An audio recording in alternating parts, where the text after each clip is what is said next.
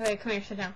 There's this thing that Allison sent me, where um, it's like this maze. Here, sit down. It's like you know that helicopter game we. Yeah. Okay, it's kind of like that, but it's like a maze game. So I'll show you what to do first. It's really really fun though. Okay, so you hit play or whatever, and you try to reach the red. There's like a maze, and you try to hit, touch the red box of it, but you don't want to hit the sides, otherwise it starts over. And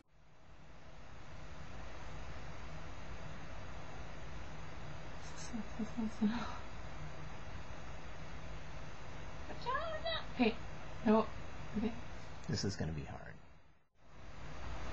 Well, the first one's easy. Yeah. The second one's not. Oh, shit. Mm. Mm. Ooh, Watch out. that, that was very close. Sometimes you just get in a hurry. Oh, shit. I had to get really. This is Okay, impossible. okay. No, just go. I'm not going to be able to do this. No, just go up close. That's what I did. Cause my eyes were really bad too.